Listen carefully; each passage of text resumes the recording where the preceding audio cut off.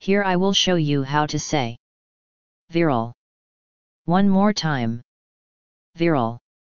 Well done, please like this video.